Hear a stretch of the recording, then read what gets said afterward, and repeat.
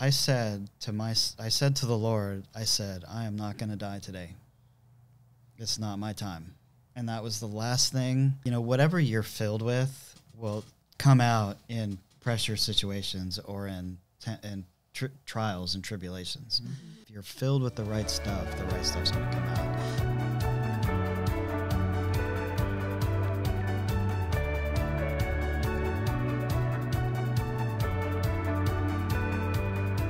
Hey, and welcome to Winning Conversations. We are so glad you're here. We are excited to jump into our first real guests after the Turn the Tables series that What we was that? finished. quote unquote. quote unquote. Oh, nice. We have we They're have some of our favorite people, and we want to start the year off strong with Tommy and Christy Giangreco. How are y'all? We are great. We're doing Been great. looking forward to this for a little while now. We're glad that you're here, and Dan here is Hi, guys. Puzzle. Hi, Dan. Which I know you y'all know Dan well. He goes to your Thrive group, right? Yes, yes. We are fortunate enough to go Shoshana, there. He comes over some all of the our time, best too. friends. Yeah. Can't get him to stop, can you? They've Not tried. if we feed them. They've tried hard. true. That's true. Well, we're glad you're here. You're a big part of our Heritage family. Um, you guys serve not only in Thrive groups with uh, Thrive group uh, leaders, but you also are on the worship team where most people see you, hear you, enjoy the gifts that you are. Um, but we would love to hear a little bit more about what else you do, what else you're about, and kind of open the conversation up. Yeah, I guess I'll start. Um, so we we outside of church, we enjoy mountain biking, and I enjoy cooking. I, it's uh, kind of a passion that has grown probably over the last twenty years or so. Oh, yeah. Um, yeah, I did. I, you know, my mom was an amazing cook, and Still is. I, yeah, I guess that's fair. Sorry, mom. Um, She will Mom. be missed. she is still with us and she is cooking fine food. Um, but anyways, growing up with that, I would uh, take leftovers to, to work, just a minimum wage job, and I'd have like a full meal.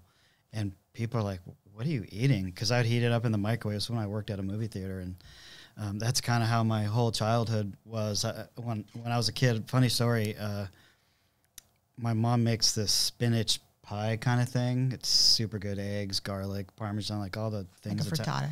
Italians love. And I would bring that to school, and friends would be like, "What are you eating?" Because it's this green triangle. it looks like space food, right? But it was so good. But anyways, yeah, I always grew up around good cooking and and good food and uh, having people surrounding surrounding that, and that was always fun. I enjoyed that. That's awesome. Yeah. Yeah. And like like you said, we're we're active people. We like to be outside. We like to be doing things. We like to spend time with with our family and our friends. And so that's I don't know who we are. That's awesome. Now, how, how'd y'all end up here at Heritage?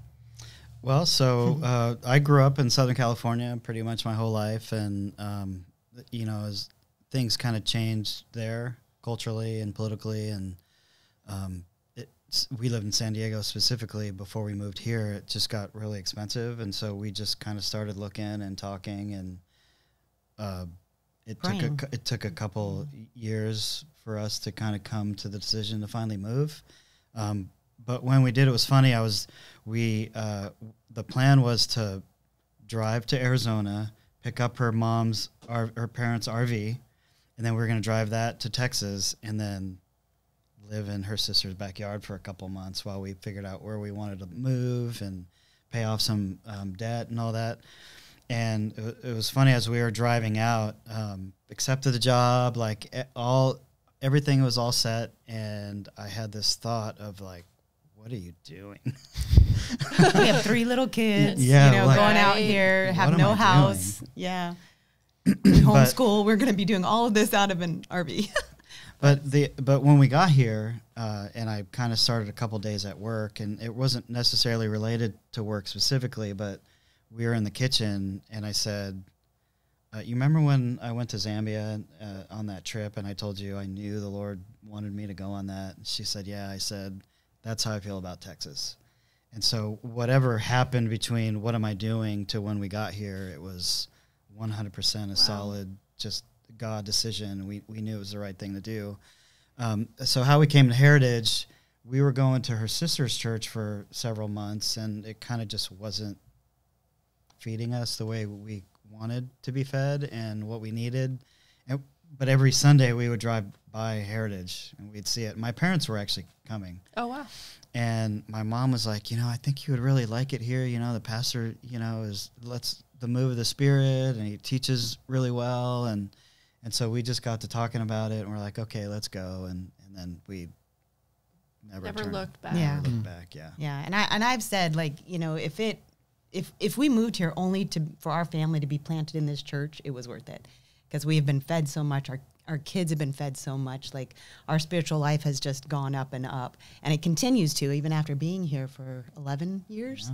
You know, like there's it's always step on step. You're always if you're willing to to receive and, and glean what they're what they're presenting or you know get ready to receive, you will progress.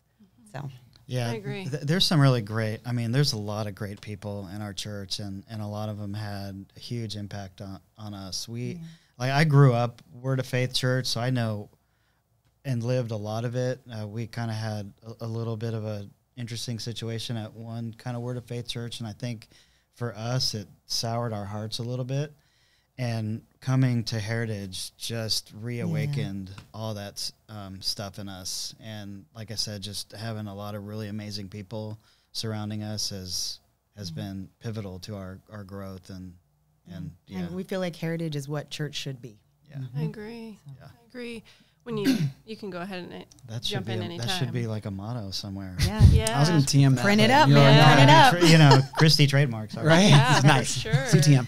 Um, well, so part of that is is again a, a huge part of why we love it here is because of you guys. Like I think mm-hmm. my wife and I have said it. Uh, like you know, you guys were trailblazers for what we did. Mm. You came from California. You came here, and you were the first people that we knew to hear that we were your life group is what we went first. Um, but you guys model something I think is really what has inspired us in a lot of ways. And I think a lot of the, the young couples or couples in general, like you guys serve on worship. You have a life group that you do. I mean, like you guys are so community centric.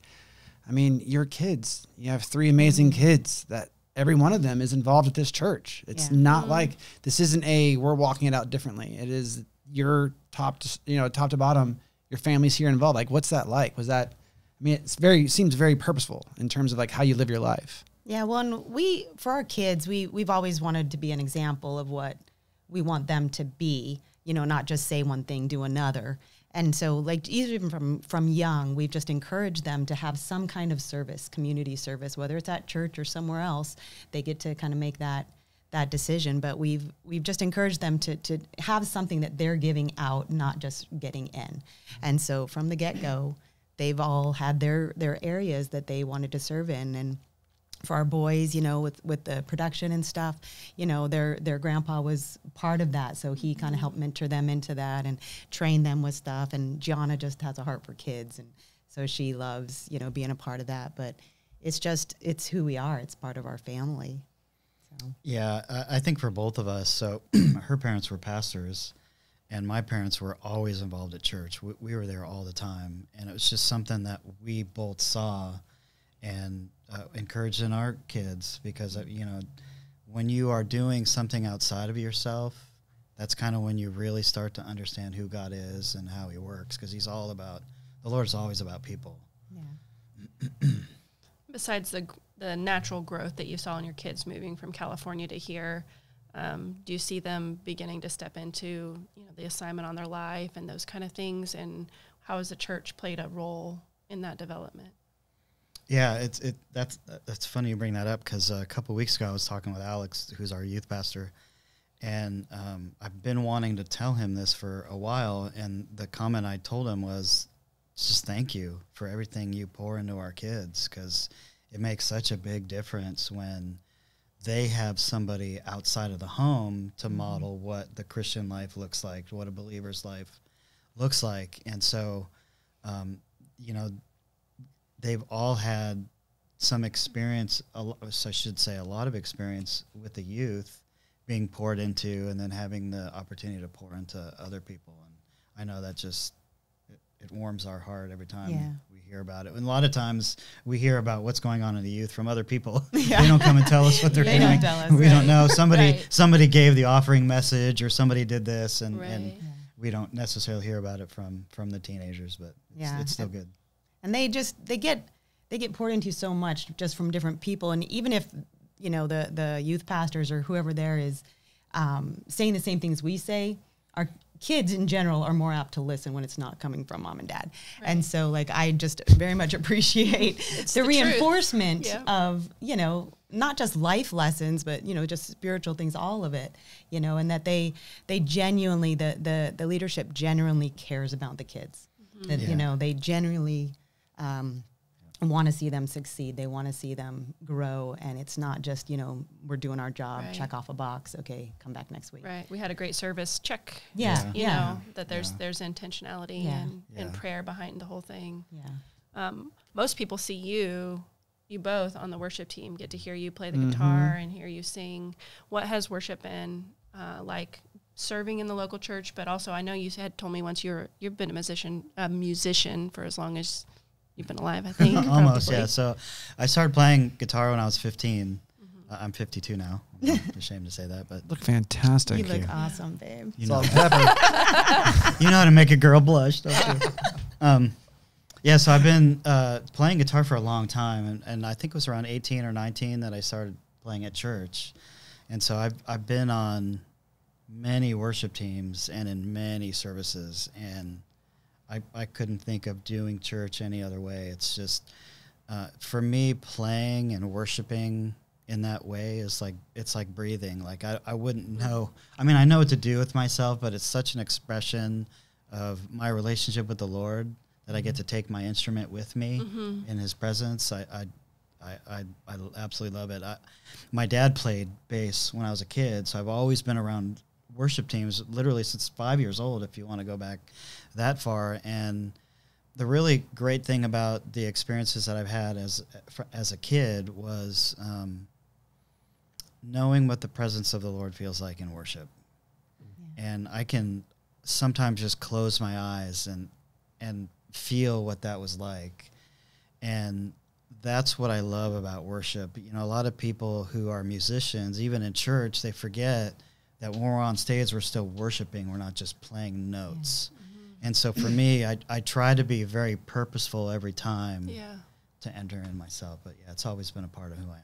Yeah, and we've been on multiple worship teams with other churches um, in the past, and I'll say like here, it it's it's a different culture in the worship team than other places. And like it's not just about the music, it's not just about the song. Like even our our practices are worship sessions. You know, like we do work on the technical stuff, but it's always comes back to the heart. You know, the heart being ready for worshiping and blessing the Lord, and that's mm-hmm. been a to me a great experience just because it's it's helped lift up you know the level of my worship like i have my own worship time but even at practices we're delving in almost every week. You know it's it's amazing. I always look forward to practices. You know like other places you're kind of like uh it's practice. There's all but here like i'm Yeah. looking forward to practice every week. And that's been with you know the different worship leaders that we've been under here at at heritage. It's been it's been wonderful. I've never been asked to be on a worship team. There's You there's can a be our reason I tambourine reasons player. for, for good. we need a Well, tambourine player man. Yeah, even then. like what's her name from Seinfeld? It's all over the map. Um, Well, you didn't want to say, but, but but speaking of that, like you, so you guys do worship as a team. I mean, you have your life group leaders. You're on the worship group. You know what I mean? So there's there's just there's a lot that you guys do in service. How do you find that work? Or I guess church life balance is the better way to say it, maybe in terms of you know just all the things that you're a part of. You still have that time to really have your own time with the Lord and connect and kind of keep keep things moving forward. Yeah, I think uh, you know we we've had uh, a, a lot of friends over the years, some of whom f- forgot that their family was their ministry too, Yeah. and th- so that's one of the things. One of the things I think that we keep in mind is that our first ministry is is our kids and each other, and I I think the other thing is knowing where God wants you and where He doesn't want you. Um, if you are stretching yourself thin, then you should probably do an inventory on does God want me in all these places? And we know f- with beyond a shadow of a doubt that what we are actively doing at church is what we're supposed to be doing. I think that I think that helps. Well, and I think for us too, we have a, a little bit of an edge on on it because we've homeschooled our kids from the get go. So we have a lot of family time. Um, so it's not just you know after work, after school, trying to get that family time in before we're doing church stuff. Like we we get a lot of time together, and even now, especially because both of us work from home a lot. Um, so we have a lot of family time. So it's it's a little easier to I think make that that balance. It's a great question. So I want to ask you about something. Recently, you terrified us. Some Christy, I mean- specifically. I didn't terrify. Christy specifically, but for those who don't know, you had a, a, a pretty sizable health issue. Um, Yeah. I'd, I'd, I don't want to. I'll let you explain it. Probably better of an understanding, just to kind of Yeah. catch everyone up. Go ahead. Well, so uh, in January, uh, January 24th, I Mhm. had a massive heart attack. Uh, we found out I had 90% blockage in one of the main arteries on the heart. And um, it was pretty exciting. um, We were excited. Was Yeah, that the word? I mean- That's the word you used. We were like, Yeah. oh, this is. Well, you know, so okay, so just to lighten it up a little bit, because you know, when somebody has a health issue, or uh, sometimes people are a little hesitant to ask about it. I, r- really, for me, it's it's it's something that happened. I have no problem talking about it because I know the Lord delivered us from it, and It's a so testimony now. and Yeah. so it's a testimony. So I, I actually enjoy talking about it. But you know, the the funny thing about it is when we didn't really know if it was a heart attack or if maybe I just was I don't know feeling indigestion or just something. you don't Yeah. know. Yeah. you, A lot of you know, time. your mind goes to you know I'm getting some tightness in my chest and I'm you know feeling lightheaded and I'm sweating profusely, which as be- people who know Classic know that those are cl- those are the But they ones didn't all that- come at once. those- so like you know what I mean. So like, we were still I call trying that to a figure it Tuesday, out. sir. You know what I mean? Like, what do you do after you eat your meals? So the, the but the funny thing about it is like I, I don't know what a heart attack feels like. I mean, I never had one. I only know what they look like on TV. Right. And and literally, I know this sounds silly, but that's literally what I'm thinking. Like, this doesn't feel like what hap- what they do on TV. You know, they grab their arm and they're like, "Ah," you know, and they kind of keel over. It didn't feel like that at all.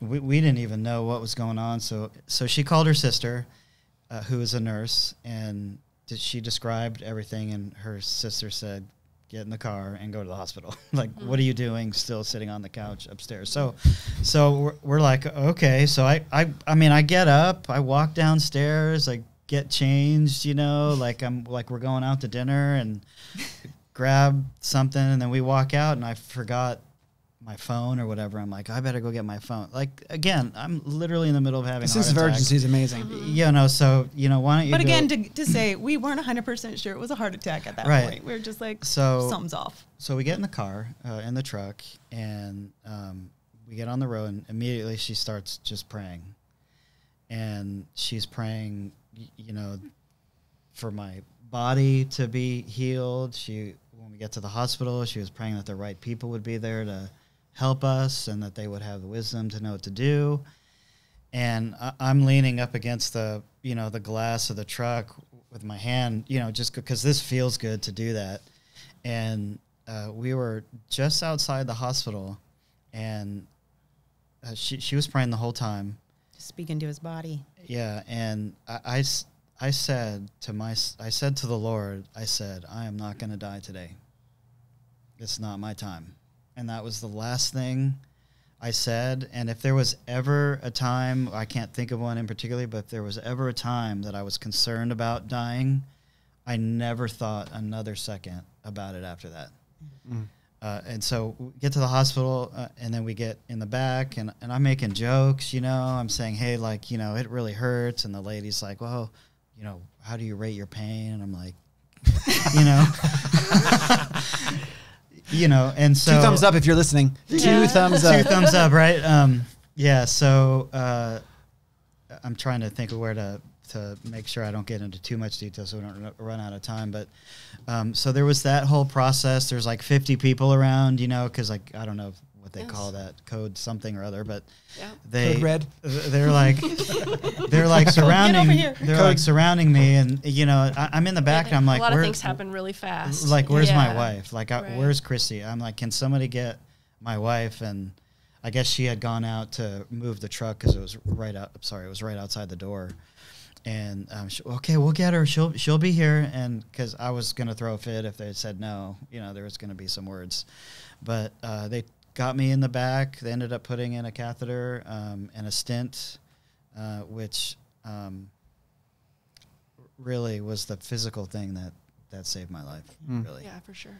uh, and Well, and if I she's can got her part. throw too. in yeah so like on my side like we get there they take him to the back i get the truck all situated i'm in the waiting room and the, the nurse comes out and she says okay just want to kind of give you an update he is having a massive heart attack and so that kind of in the natural was like oh my goodness like i had this moment of pure panic we're young we're healthy like how can this be us um, but like i had this moment of moment of panic and i'm like just start praying harder you know and i just felt this peace like I'm an emotional person, so this is gonna go there. Right. But like I just had this peace that like you don't have to battle. I'm taking care of it. And so like seriously, I'm in the waiting room waiting for them to say it's okay for me to go back um, where he's at and I'm reading my book. Like I'm not even feeling like I have to press in or you know pray it out because it was already taken care of. I wasn't scared that he was going to die anymore like after that first couple seconds it was just it's going to be okay he's fine and and I'll and I'll say too on this side of it like having your community your people that are close to you is amazing in times like this. And if you don't have that set ahead of time going through stuff like this is a is a whole nother story. Because I'll say like our our close friends family Stephen and Summer while he was in the hospital everything they they took care of me not just him you know he was getting taken care of with the hospital but they took care of me made sure I had meals Some were even brought up blankies and a and a pillow for me to sleep with you know just having people that that love on you in these times is amazing sorry It's good. It's good.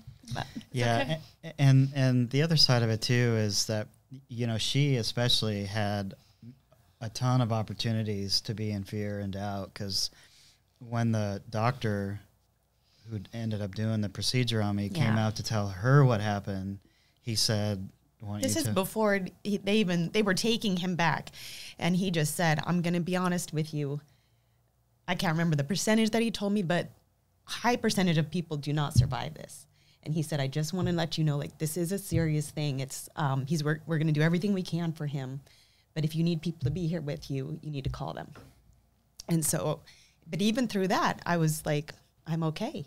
You know, like I had people calling me. Um, his mom, she's like, "Do you need me to be there?" And I'm like, "I'm like, I'm okay. If you need to be here for you, come." But but I'm okay. Um, and so she's like, "Well, I'm just gonna stay home and pray." And I'm like, "Okay," but um, you know, multiple people called and like, "Do you want me to come sit with you and be there with you while it's going on?" And I'm I just like I said had a peace. I'm like, "I'm okay.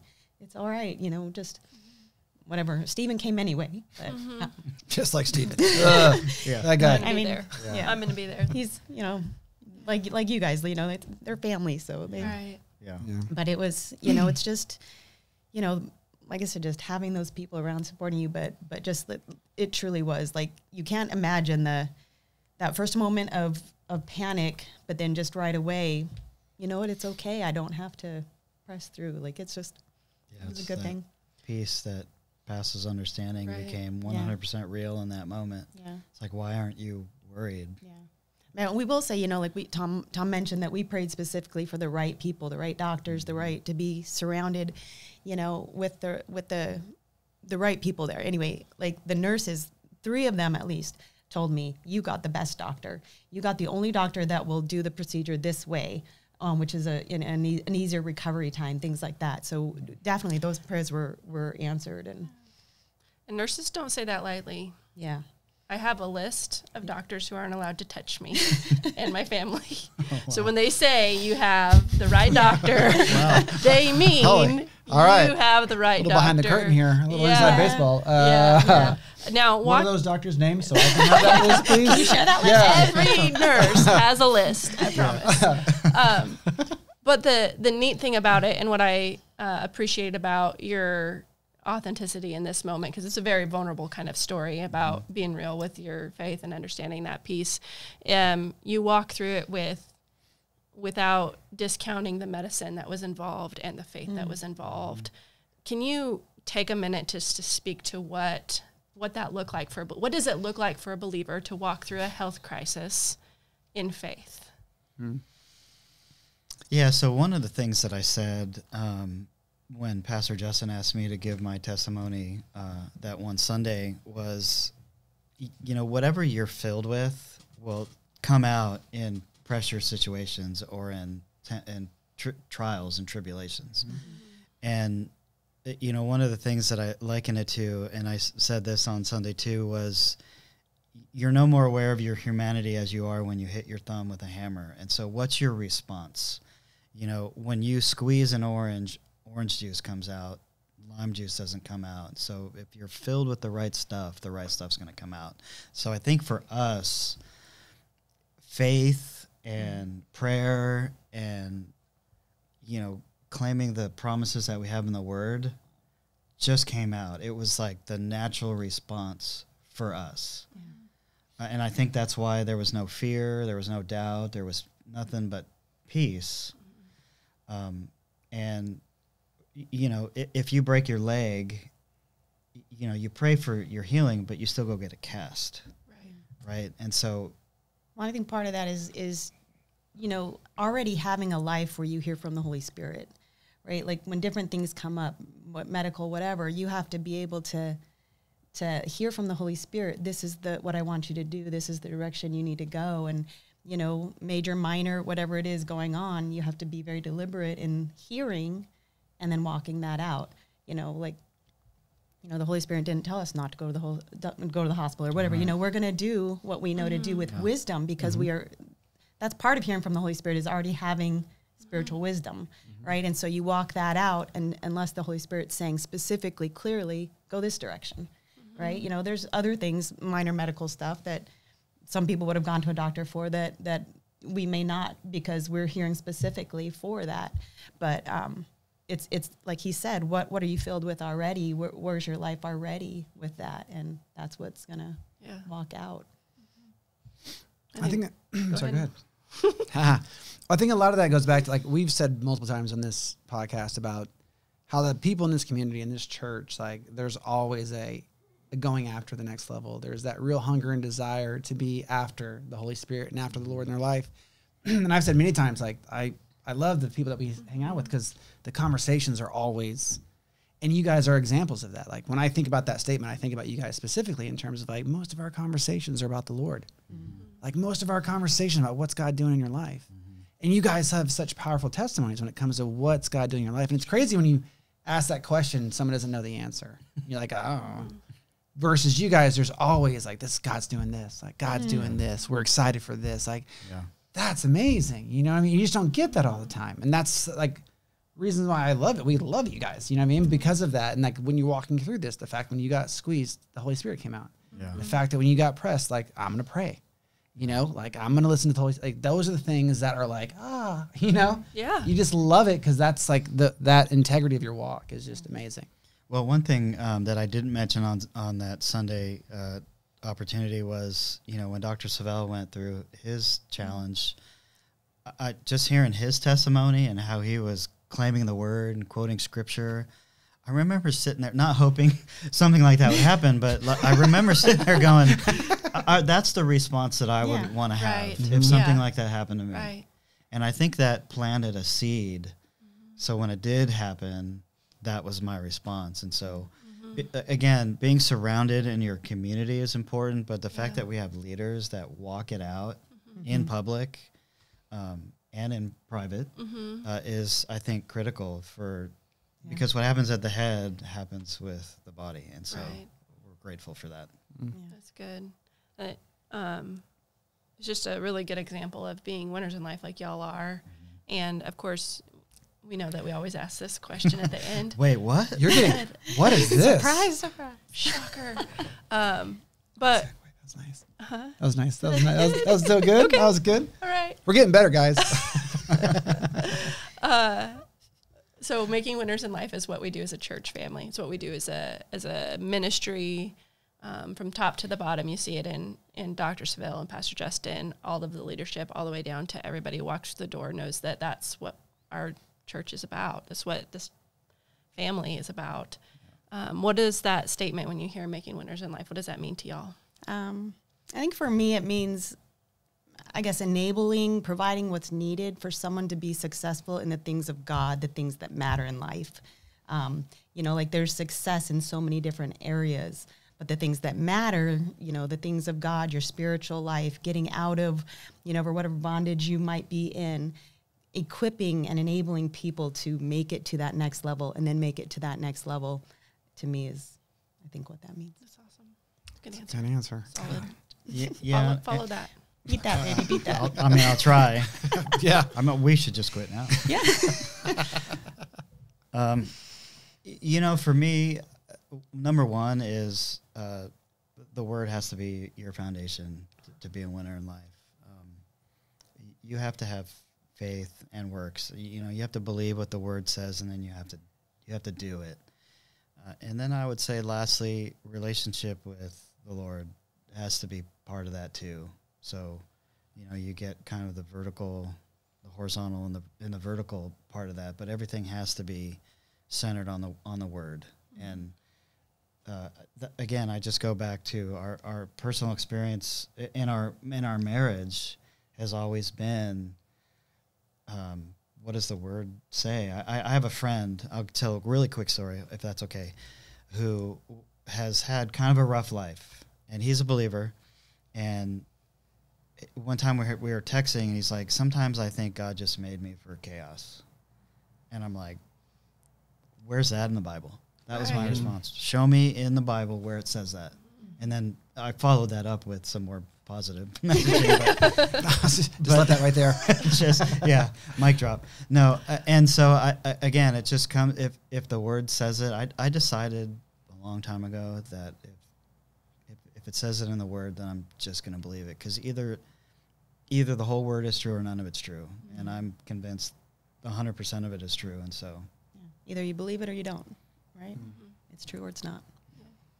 Walk it out.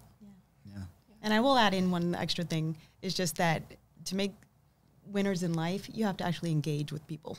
Like you can't be like selfish in your own little bubble. Like there has to be interaction. There has to be, mm-hmm. you know, an outward connection.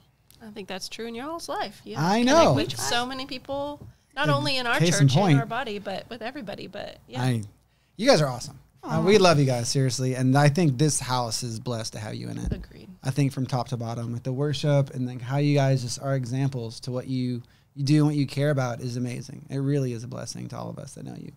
And so I'm so happy you guys are here. Yeah. This was so fun. Yeah. did you enjoy it? Of course you did. You wouldn't be here if you didn't. Um, this has been a great time. We've had another amazing conversation, a winning conversation, some would say. Um, I would agree. Uh, thank you guys so much. Please check us out next Friday. Obviously, you can see this on YouTube, on all the podcasts, and all the other things. We'll have show notes about stuff that's important that's coming up. We'll sure. we'll link their Thrive group. The Thrive group. That's what. Uh, yeah. It's crowded, but we'll we'd love to see you there. Um, no, it's not. It's awesome. Uh, you guys have an amazing time. We'll talk to you soon.